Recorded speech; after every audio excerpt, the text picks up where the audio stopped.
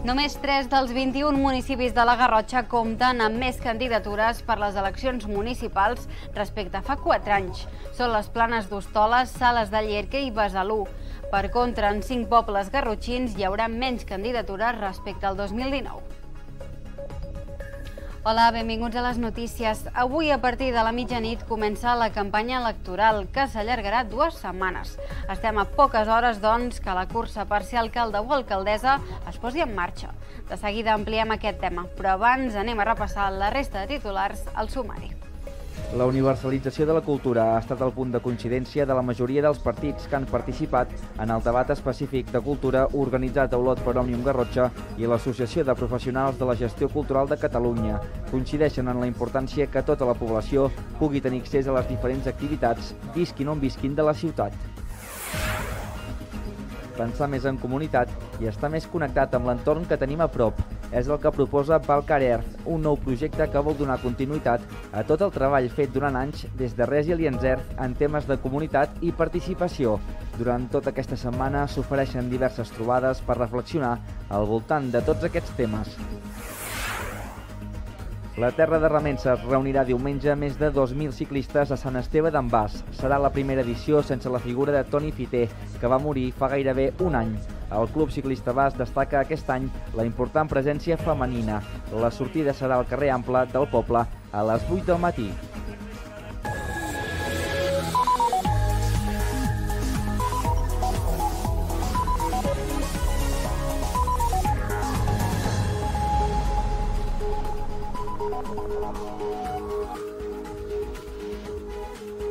Les planes d'Hostoles i Sales de Llierca són els pobles de la Garrotxa que comptaran amb més llistes que el 2019.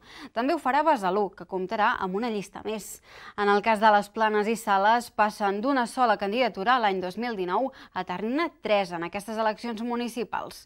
Per contra, cinc pobles de la comarca comptaran amb menys candidatures que en les darreres eleccions. Només en tres municipis de la Garrotxa hi haurà més candidatures que l'any 2019 a les eleccions municipals del 28 de maig. Són les planes d'Hostoles, Sales de Llierca i Besalú. En els dos primers es passa d'una sola llista a un total de tres. A les planes, el 2019, només es va presentar la llista encapçalada per Eduard Llorà, de Junts per les Planes. Al cap de quatre anys, Pablo Odell substitueix a Llorà al capdavant de la llista de Junts. A diferència del seu antecessor, Odell tindrà competència en aquests comicis, ja que dues llistes més es presenten com són les Estimem les Planes Blanes, amb Marc Puig com a candidat, i el PSC amb Jordi Joan Fageda. On també hi haurà dues candidatures més que el 2019 és a Sales de Llierca, on Miquel Palomeres intentarà seguir a l'alcaldia. La CUP amb Violeta Albero ho intentarà evitar i opten a ocupar l'equip de govern per primera vegada. Qui també es presenta és el PSC. I per últim, el poble que també creix pel que fa a candidatures en unes eleccions municipals és Besalú. Aquest any, a banda de la ja habitual de Junts, liderada per Lluís Guinó, aquest any també es presenta Esquerra amb Bartomeu Comte i el PSC amb Alejandro Alejandro Almendros. Per contra, cinc municipis de la Garrotxa perdren candidatures respecte al 2019. Són Sant Ferriol, Miera, Sant Feliu de Pallarols, Tortellà i Beuda. A la resta de municipis de la comarca es presentaran el mateix nombre de candidatures que en els últims comicis. Les eleccions municipals es celebraran el diumenge 28 de maig. Fer la cultura universal.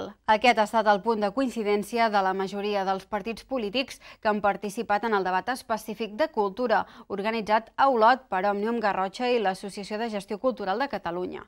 Coincideixen en la importància que tota la població pugui tenir accés a les diferents activitats visquin on visquin de la ciutat. A l'acte hi han assistit a banda de representants de les candidatures persones directament relacionades en l'àmbit cultural de la ciutat. La cultura cada vegada agafa un pes més important en els programes electorals dels partits que es presenten a les eleccions municipals. En molts casos, l'accés a la cultura va directament lligat amb l'educació. És el cas, per exemple, de Junts. El seu candidat a l'alcaldia d'Olot, Pep Berga, ha assenyalat la necessitat de que els ensenyaments artístics arribin a tothom.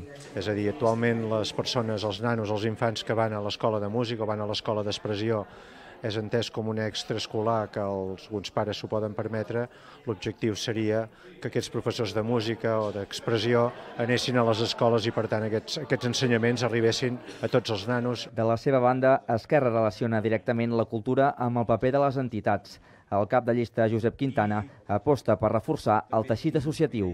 Per nosaltres ara mateix el primer a reforçar de la ciutat a nivell cultural són les entitats més que mai el teixit associatiu, la societat civil, en el món que ve, eh, ser una societat que estigui activa, que tingui iniciativa, per nosaltres és el més important, per tant... Des del PSC, el cap de llista Josep Guix considera que s'hauria de crear un nou pla de cultura per definir les estratègies de futur, com ja es va fer a finals dels 90 sota el mandat de Lluís Sacrest és fer un nou pla de cultura de la ciutat d'Olot. Entenem que la cultura ha de ser una, una entitat, una, una activitat molt participativa, ha de ser transversal i, per tant, no, no té sentit que un partit polític marqui la línia cultural d'una ciutat, sinó que hem de fer un pla de cultura que ja s'havia fet aquí a Olot fa més, més de 20 anys. De la seva banda, la CUP diu que serveis culturals com la biblioteca haurien d'arribar als barris de la ciutat.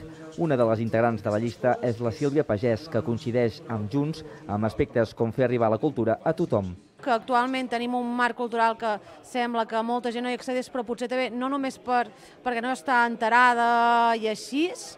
L'altre seria també que la biblioteca, tal com plantegem, té, pensem en fer una biblioteques descentralitzades, no? que també hi hagin biblioteques en els barris, petits eh, espais. En Comú Podem focalitza la gestió cultural en les condicions laborals dels treballadors que s'hi dediquen. El seu cap de llista, Raül Valls, també parla de democratitzar la cultura. Que des de l'Ajuntament d'Olot tinguem cura dels treballadors de la cultura en termes de eh, qualitat del lloc de treball, dels sous, dels horaris, de tot el que implica eh, les condicions laborals. Això per nosaltres és molt important.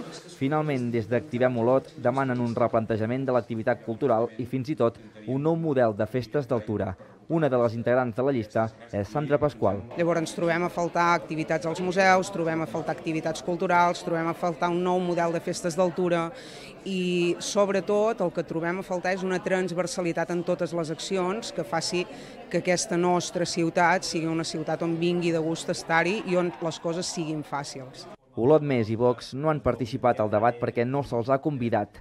En un comunicat, el cap de llista d'Olot Més, David Coromina, ha assegurat que en un primer moment se l'havia convidat, però que després els organitzadors s'han fet enrere. En el text, Coromina no entén aquest canvi de parer, una polèmica sobre la qual els organitzadors no s'han volgut pronunciar. En el debat, Òmnium Garrotxa i l'Associació de Gestió Cultural de Catalunya han posat sobre la taula temes com l'estat de la llengua, la memòria històrica o la gestió de museus, entre d'altres. I Activem Olot marca el servei sanitari de la ciutat com una de les prioritats del seu programa electoral. El candidat Jordi Rubio proposa traslladar l'actual Cap Garrotxa a l'antic hospital i treballar per descongestionar les urgències. Aquest dimecres, el grup independent ha presentat el seu projecte de ciutat en un acte públic a l'Orfeo Popular Olotí. Activem Olot centra la seva candidatura asseguren en revitalitzar una ciutat que qualifiquen de pagada, trista i inactiva. Segons ells, la millora de l'atenció sanitària a la ciutat és un dels principals eixos del seu programa. Recuperarem les 24 hores d'urgències del CAP vale? i ocuparem amb un pla d'usos l'Hospital Vell. Traslladarem el cap de l'ambulatori del carrer de l'Avinguda Santa Coloma eh, i la, el traslladarem a, a l'Hospital Vell. Usarem també el, tot el servei de pediatria, que ara mateix està en barracons, eh, i el, el servei de salut mental. Creiem molt necessari que s'han de descongestionar les urgències de l'hospital eh, perquè ara mateix les, les cues que hi han d'espera eh, són llarguíssimes. Rubio remarca també la necessitat de fer millores en mobilitat. El candidat d'Activem Olot explica que es presenten com a independents per tal de donar aire fresc a la política municipal. Actualment, i ja des de fa temps, la política està passant en un temps molt dolent, no són creïbles, no fan mm, polítiques eh, des de la proximitat, des del carrer, sinó que es fan polítiques des d'un despatx, d'esquena la ciutadania i nosaltres amb això ens vam negar. Des d'Activem Olot també creuen que el barri vell necessita una renovació, però que per fer-ho possible cal un pacte de ciutat a anys vista. Com a línia vermella, la candidatura independent es marca no pujar els impostos per realitzar projectes de ciutat. Activem Olot ha presentat el seu projecte electoral per Olot a l'Orfeo Popular Olotí aquest dimecres. Com bé saben, aquesta mitjanit comença la campanya electoral. Doncs bé, a partir de demà divendres i fins al 25 de maig, Olot Televisió i Ràdio Olot oferiran entrevistes i debats a tots i cadascun dels candidats i candidates a les properes eleccions municipals. Ho faran amb entrevistes als candidats d'Olot i també als de pobles on només s'hi hagi presentat una candidatura i amb debats als municipis on hi hagi més d'una llista. El primer serà demà divendres a partir de dos quarts de nou del vespre amb el debat de sales de Llierca amb Miquel Palomeres i Violeta Albero. I l'entrevista Albert Fàbrega, el candidat a Sant Ferriol.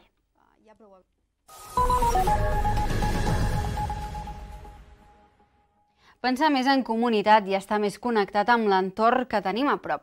És el que proposa Balcar Earth, un nou projecte que vol donar continuïtat a tot el treball fet durant anys des de Resilience Earth en temes de comunitat i participació. Durant tota aquesta setmana s'ofereixen diverses trobades per reflexionar al voltant de tots aquests temes, amb l'ajuda d'un expert en la matèria, el líder espiritual colombià i expert en comunitats, Mamo Lorenzo. Ja fa una dècada que la cooperativa Resilience Earth fomenta l'aprenentatge i reflexió al voltant del treball en comunitat i la participació, però des de fa mig any un grup de persones desenvolupa el projecte Valcar Earth, que pretén transferir els coneixements adquirits durant anys en aquests àmbits. Portem aquests mesos que, de funcionament que hem estat treballant molt en el que nosaltres anomenem catalització comunitària, que no deixa de ser aquestes capacitats que podem assumir certes persones, per estar en treball amb la comunitat i perquè siguem doncs, unes comunitats fortes i resilients. Creiem que avui en dia doncs, eh, hem desaprès molt no? a, a treballar en, en això, en el nostre barri, en el nostre poble, amb, amb les persones que tenim més properes i el que oferim a Valcar són aquests espais on eh, indagar, on reflexionar. Per això Olot acull aquesta setmana un seguit de trobades per parlar de temes com la relació amb les persones més pròximes, però també la relació amb el nostre entorn i la natura.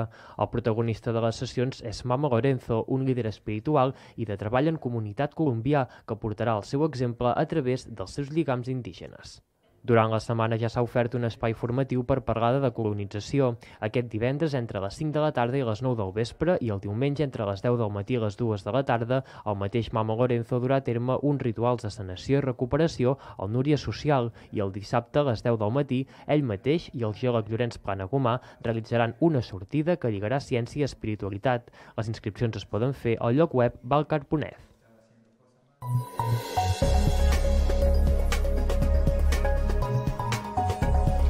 és el moment de fer una pausa. A la tornada als esports anirem cap a les preses, on la tercera edició del torneig Garrotxa Legends comptarà aquest cap de setmana amb una dotzena d'equips. I a la contraportada anirem cap a les planes d'Hostoles a parlar del seu festival per bandera, el Plan Estiueja't. Com a novetat, la setena edició del festival concentrarà tota la seva activitat en un mateix lloc, la parada del Junquer.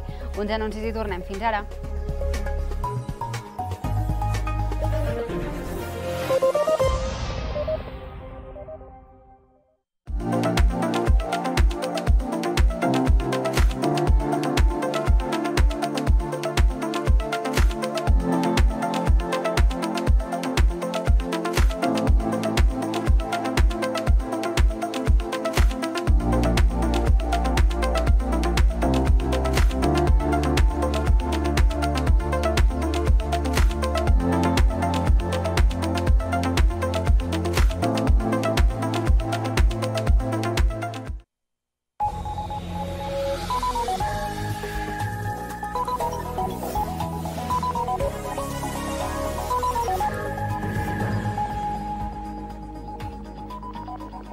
Terra de Remença reunirà diumenge més de 2.000 ciclistes a Sant Esteve d'en Bas.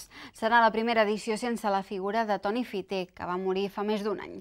El Club Ciclista Bas destaca també aquest any la important presència femenina. La sortida serà al carrer Ample del Poble a les 8 del matí. La primera Terra de Remences sense Toni Fité, gairebé un any després de la mort d'una de les peces fonamentals de la seva organització, el Club Ciclista Bas afronta una nova edició d'una de les marxes cicloturistes més importants del territori. El club aconseguirà reunir més de 2.000 ciclistes i ha destacat la important participació femenina, fins i tot amb la incorporació d'un club andorrà íntegrament femení. El president del Club Ciclista Bas, Dani Bosch, ha apuntat que les inscripcions han disminuït lleugerament respecte a altres anys, però han augmentat en comparació a l'edició passada. De remenses aquest any, doncs, eh, en aquests moments tenim uns 2.000 participants, poder una mica menys, doncs, evidentment, doncs, que altres edicions. L'any passat eren 1.800, aquest any serem 2.000, però que no arribem a la fita de 3.000 com havíem arribat. El que passa és que hi ha un ventall doncs, de, de moltes marxes durant l'any i que fa que, doncs, que la gent doncs, es, vagin, dif, dif, es vagin dividint en, en, diverses, en diverses sortides. No? En el primer quart de segle de la prova, el club ja ha donat més de 160.000 euros a entitats sense ànim de lucre, com ara la Fundació Albert Bosch, Oncolliga, Càritas Garrotxa i la Fundació Impulsa. Enguany, la vessant solidària continuarà present. Bosch també ha remarcat l'important nombre de col·laboradors de la cursa. l'única marxa, podríem dir que és l'única marxa que té més de 600 col·laboradors. Això vol dir gent que, que vetlla per la seguretat del biciclista, vol dir que en cada cruïlla doncs, hi ha una persona que realment doncs, fa possible doncs, la seguretat, com dic abans, de, de que no, passi, no hi hagi cap, cap accident doncs, amb, amb, entre cotxes i, i participants. El club ha preparat un petit homenatge a la figura de Toni Fité just abans de la sortida, que serà a les 8 del matí, al carrer Ample de Sant Esteve d'en Bas. I en futbol, el torneig Garrotxa Legends comptarà amb una dotzena d'equips. La diada, organitzada pel Club Futbol Les Preses, arriba a la tercera edició com el torneig de futbol de referència per veterans de la comarca. Enguany, una de les novetats serà el canvi de format en la competició. El futbol torna a ser protagonista aquest cap de setmana a les preses. Arriba la tercera edició del torneig Garrotxa Legends, que any rere any va evolucionant en nombre d'equips. Enguany, per primera vegada a la història, el torneig comptarà amb 12 equips de 4 comarques diferents. Hi haurà 7 garrotxins, les Preses, l'Olot, el Bosc de Tosca, el Garrotxa, el Santa Pau, el Jonetes i les Planes. Dos equips del Ripollès, que són el Camp de Bànol i la Badesenc, un del barcelonès, que és el Viejas Glòries, i un equip del Vallès Occidental, el Llano de Sabadell.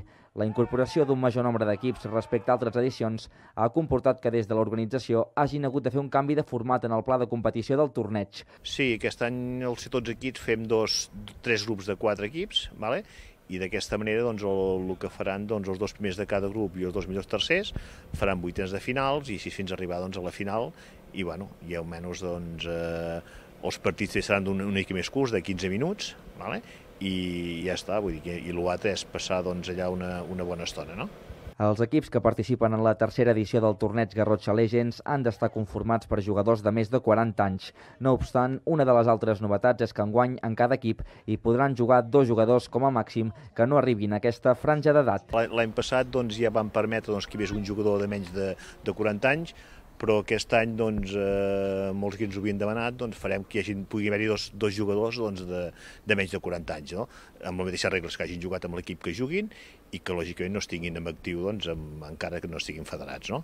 I la resta, doncs, doncs, tot el mateix, poden venir tant jugadors per aquí com vulguin, els canvis els perills seran il·limitats i, i ja està. El tercer torneig Garrotxa Legends tindrà lloc aquest dissabte des de les 3 de la tarda fins prop de les 10 de la nit. A més, en aquesta edició, un cop acabat el torneig, hi haurà un sopar organitzat per l'equip femení del club i, posteriorment, festa al Centre Cultural. I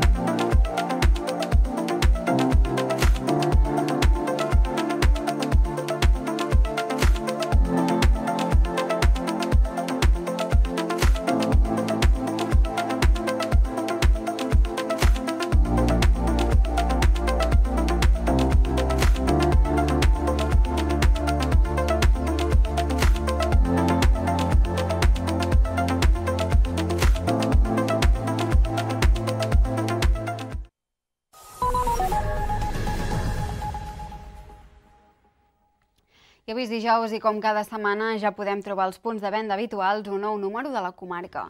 Aquesta setmana el setmanari posa en portada i amb una extensa entrevista al seu interior el recent guardonat amb les ales a la cultura 2023, Antoni Mayans.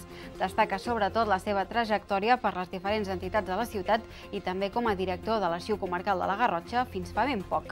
El setmanari comença ja dedicant un espai a cada candidat i candidata a les properes eleccions municipals. També destaca alguns temes d'actualitat com la prova pilot a l'Hospital d'Olot i també repassa alguns dels actes que s'han dut a terme aquesta setmana a la Garrotxa, com el Dia de la Mare o el Robolat.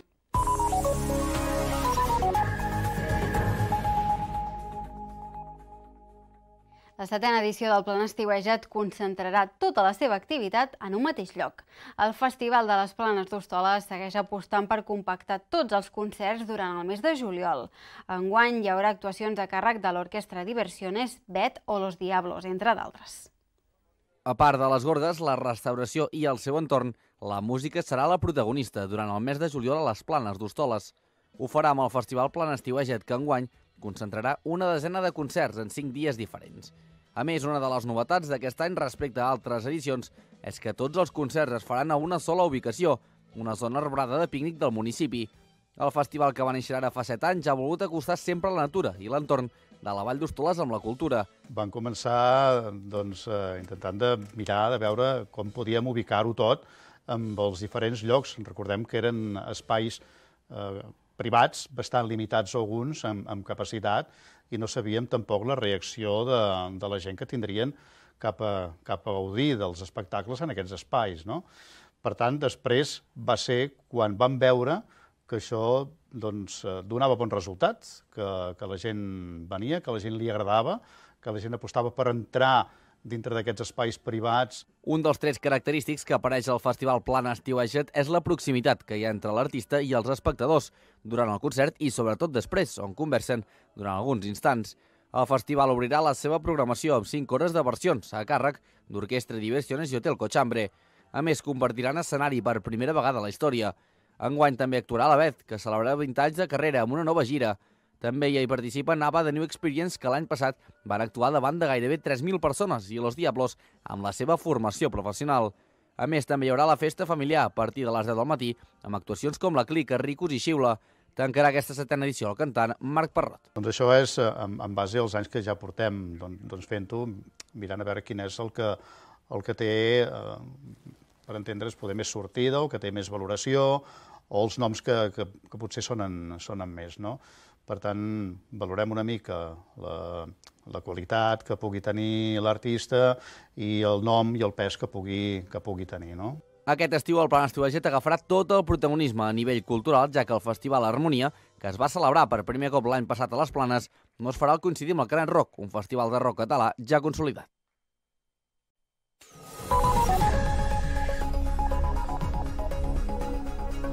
I ara el temps, avui dia ennuvolat, segueix baixant la temperatura. Les pluges tornaran a caure aquesta tarda. Podran ser localment fortes i possiblement algunes estones amb calamarsa. Divendres, bàsicament la mateixa situació i també dissabte, amb unes temperatures pròpies del mes de març. Tot seguit, en Lluís Mipérez els donarà més detalls de la previsió del temps. Abans, però, fem un repàs del més destacat del dia. Les planes d'Hostoles i Sales de Llierca són els pobles de la Garrotxa que comptaran amb més llistes que el 2019. També ho farà Besalú, que comptarà amb una llista més. En el cas de les planes i sales, passen d'una única sola candidatura l'any 2019 a tenir-ne tres en aquestes eleccions municipals. La universalització de la cultura ha estat el punt de coincidència de la majoria dels partits que han participat en el debat específic de cultura organitzat a Olot per Òmnium Garrotxa i l'Associació de Professionals de la Gestió Cultural de Catalunya. Coincideixen en la importància que tota la població pugui tenir accés a les diferents activitats, visquin on visquin de la ciutat pensar més en comunitat i estar més connectat amb l'entorn que tenim a prop. És el que proposa Valcar Earth, un nou projecte que vol donar continuïtat a tot el treball fet durant anys des de Resilience Earth en temes de comunitat i participació. Durant tota aquesta setmana s'ofereixen diverses trobades per reflexionar al voltant de tots aquests temes. La Terra de Remensa es reunirà diumenge més de 2.000 ciclistes a Sant Esteve d'en Bas. Serà la primera edició sense la figura de Toni Fiter, que va morir fa gairebé un any. El Club Ciclista Bas destaca aquest any la important presència femenina. La sortida serà al carrer Ample del poble a les 8 del matí. Doncs fins aquí l'informatiu d'avui. Recordin que poden consultar tot el que passa a la comarca a través del portal web garrotxadigital.cat, recuperar totes les notícies d'avui al nostre compte de YouTube i a les xarxes socials d'Olot Televisió, Garrotxa Digital i Ràdio Olot. Nosaltres ho deixem aquí. Que vagi bé. Bona tarda.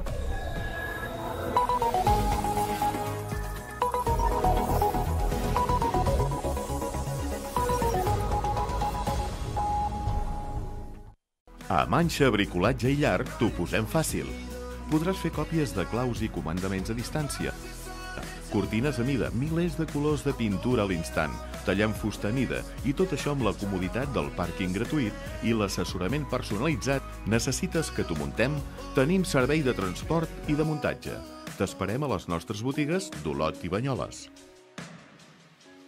Et destaquem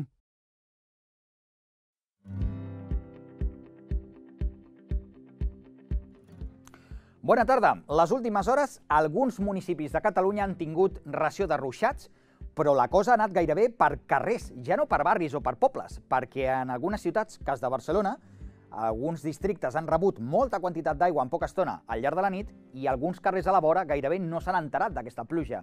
I mireu justament aquesta diferència clara de temperatura i d'estat del cel que tenim avui en el cas de Catalunya. Aquesta és una imatge del Meteosat.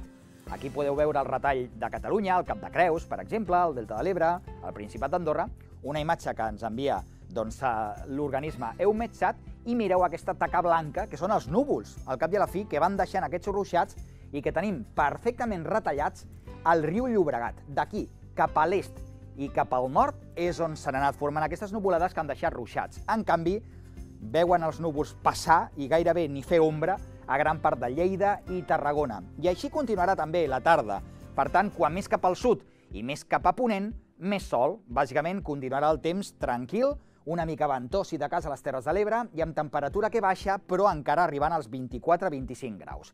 En canvi, molts més núvols que ja s'estan començant a congriar i acabaran deixant ruixats i tempestes. Pirineu, Prepirineu, Catalunya Central i comarques de Girona. Això fins a les 6-7 de la tarda. Posteriorment, ja quan sigui de nit, aquesta pluja abraçarà gran part de les comarques de Barcelona. Enganxada de cartells electorals aquesta nit, en molts casos amb pluja. No passa a Tarragona i Lleida, com dèiem, i atenció perquè també començarà a nevar al Pirineu. I cota no gaire alta, 1.800-2.000 metres. Com dèiem, tira cap avall la temperatura i un ambient que serà fins i tot fresquet les immediates hores. Demà al matí, de fet, aquesta matinada i demà al matí, novament alguns ruixats cap al prelitoral i al litoral de Barcelona, per tant, l'àrea més poblada de Catalunya. També plourà demà al matí ja a les comarques del sud de Girona, més o menys de les Gavarres cap al sud. Es començarà a carregar a l'Alt Pirineu i, de moment, farà sol a Tarragona i Lleida. Diem de moment perquè demà a la tarda també arribaran els núvols a les comarques de la Terra Ferma i de Tarragona. De fet, demà a últimes hores de la tarda hi acabarà plovent, sobretot a Tarragona i déu nhi el que arribarà a ploure demà a la tarda a la Catalunya central i les comarques de Barcelona. Ploure, tronar o pedregar. Per tant, molta precaució demà a la tarda perquè hi haurà alguna senyora tamborinada.